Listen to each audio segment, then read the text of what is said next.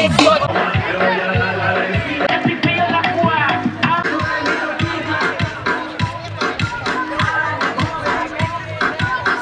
un club de fútbol y la entrada en calor va a estar relacionada, como hacen los chicos, con fútbol.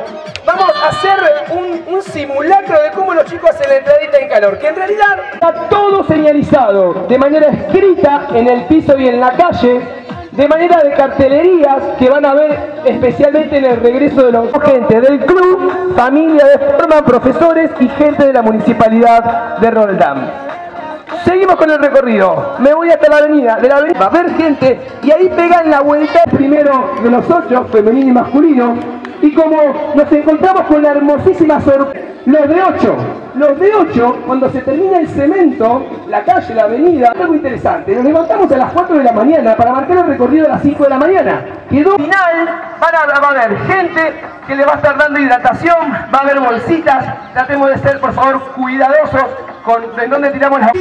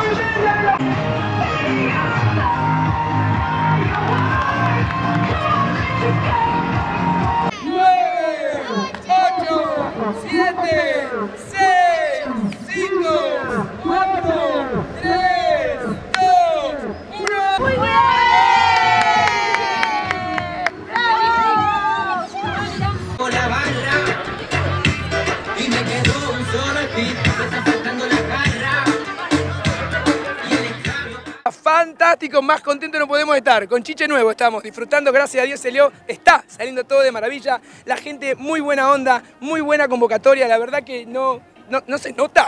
Ya lo habíamos propuesto el año pasado y nos proponemos seguirlo, así que está, está bueno, hay mucha gente enganchada y está bueno, bueno, y con la energía acá de, de Claudio y la colaboración de un montón de gente se puede hacer, así que contentos. Arrancamos a las 5 de la mañana con Claudio Romy y otros dos colaboradores más, colaboradores más. Y a full. Hace, no solo hoy vinimos temprano, sino que hace meses que estamos trabajando para que esto salga hermoso. Hicimos unos diseños de remera que están todos contentos. Eh, nada, mejorando cosas. Ya tenemos una listita, una listita para hacer mejoras el año que viene. Y bueno, creemos que la tercera es la vencida para corregir todas las cosas que por ahí pudieron no haber salido de la mejor manera. Pero excelente todo, impecable el laburo de todos. Eh, muchas ganas. Bueno, pero el que no comete errores no hace nada nunca. Es así, como dice el dicho, el que hace se equivoca.